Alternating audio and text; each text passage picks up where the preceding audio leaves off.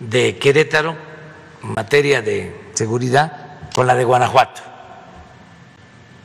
Si quieren lo vemos este, ahora, a ver, ayer. Sí, tenemos a 15 kilómetros este, a paseo, Sí, Guanajuato. sí. Entonces, sí es interesante.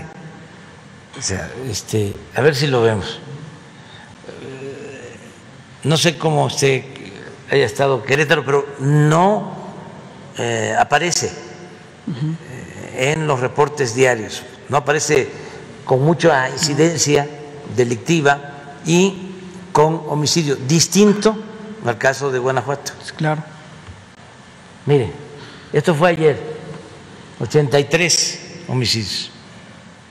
Guanajuato, 11, 13% de eh, el total nacional. ¿Dónde está Querétaro? No parece. Está entre los 10 estados sin homicidio de ayer. Y son vecinos. Bueno, pues tocamos el tema. Entonces, ¿qué le dije? Este, aplícate Sí, claro. para que continúe lo mismo.